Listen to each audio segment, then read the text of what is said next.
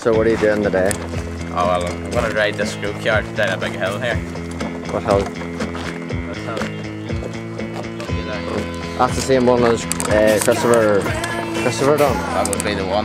Screw ID turbos down here 24-7, you know.